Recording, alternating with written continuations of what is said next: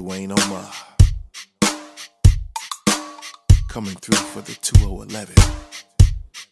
And in honor of all you special ladies,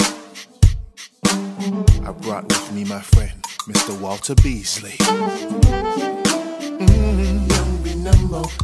Quick. You gotta hurry up and catch those chicks. Mm-hmm.